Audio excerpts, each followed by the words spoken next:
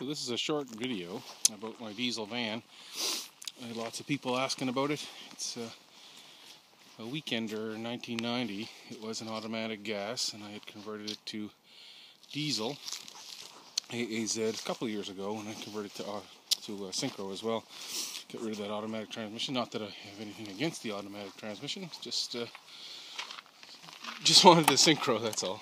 So it's got pretty the latest, you know, 9091 interior carpets and seats with adjustable armrests, and uh, got the proper diesel tach as well.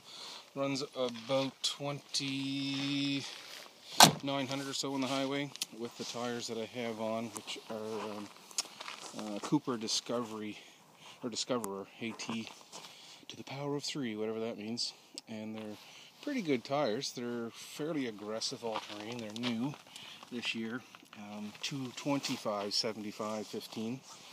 They've got a gray water tank, which is uh, very nice. I think it's about 17 or 18 liters. It's uh, quite big. I've never actually ran out of gray water um, in a week or so of continuous camping. A new propane tank, and of course, exhaust from my uh, Propex. And this is just, of course, what was a weekend. It had no outlets. So this is uh, my 110 outlet in the back. Everybody has to have stickers. I got my solder panel and a couple of roof racks on the on the top, and my solder panel runs with these uh, two 8 gauge wires down into the controller, which is inside, which we can see that in a little bit. I got a Gary Lee ladder and rack, which I'm very very happy with. It's built awesomely. I had to trim up some of the some of the ladder rungs, as you can see, to try to make that a little more um, just to clear the, the tire rack, which came from Rocky Mountain Westy. Um, got a, a, Westfalia hitch, which uh, tows everything I ask it to tow. I'm not sure what actually rated for, but it seems to be fairly robust. I have two bike trays. The bikes mount uh, um, on there pretty well, and I got two Yakima fork stanchions, so I can put my front wheel uh, on there after I take them off, and it's pretty secure. My high lift jack held on with quick fist clamps, which I keep here at the shop, of course. Um, I've got a the Rocky Mountain Westy rear tire carrier. I can't say enough about it. It's very robust. It mounts inside the body, oh, up past the window there for sure, inside. And there's a plate that you got to drop down inside the vent to uh, secure that to. It's not just bolted to the tin. And then it has a, a Volkswagen Mark II door latch down here, which uh, has a lock mechanism on it. Uh, it's very cool. I have an LED um, rear spotlight or backup light, which I have where the two-wheel drive gas tank used to be. I have a switch to turn that on, and on that back here, and you can see it's unbelievably bright, and it looks nice when I open my uh, spare tire rack. Well, I can show you. I'll open the spare tire rack, which also carries my pair of uh, water and fuel can. They're both 8 liters each, which doesn't sound like a lot, but 8 liters is a fair amount. And you're out, it'll get you where you need to go. So I open this up normally, and then I deploy my Shady Boy awning, which I like, and then this lights up our campsite. It doesn't look like a lot in the daylight, but it's it's plenty. So I have the road shower on the roof, which gives me 20 extra liters of, of water. I don't actually use it for the shower as much as I use it just for rinsing dishes or warm water to, wash up.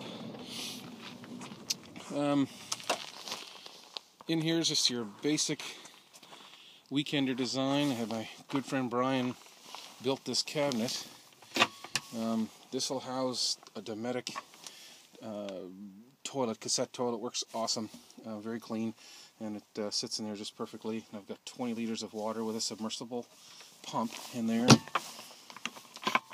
And our junk drawer. I think everybody needs to have a junk drawer.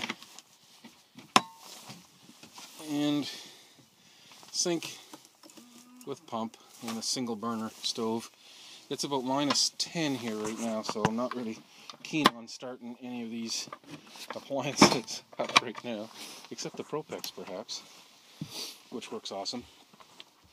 Um, in the back, it's the regular weekender bits. This houses our linen, which has uh, you know blankets and our curtains and screens, and the center shelf in there holds some dry goods, some uh, food. I've got a uh, an Osram reading lamp slash map light over where I sleep anyway. I like to read before I go to bed. And we've got a Go Westy mattress topper, which works awesome. Up here's my Propex. Um, it's the Propex thermostat and our uh, ProVista um, MPPT controller, which works spectacularly as well. We keep uh, in full sun. I've got 100 watts of solar on the roof, and in full sun, I've got oh somewhere just short of about six amps of uh, current, which is plenty to keep four batteries. I got four 45 amp batteries on board, one under the driver's seat, one under the back seat, and one in each corner behind behind each tail light, which got them spread it along the van. But anyway, it balances the weight out too. I took the upper bunk out. My kids have long since decided they don't want to camp with us anymore. So my wife and I take off and go, and everything works up there for storage, and we sleep downstairs. This is a Northwesty canvas, the Sunbrella one, which I really like.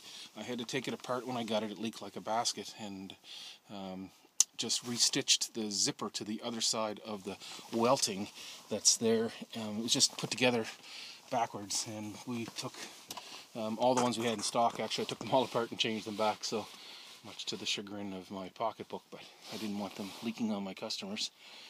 Um, so I've got the normal Go Westy little trinkety things, the shift extension, and I've got the 100 watt lights in the grill. I've got uh, regular square lights, but they're relayed, and I ran a new power lead to the uh, to the fuse panel, so it would it would certainly carry the, the extra current of four 100 watt bulbs, which is a lot, a lot more than you think.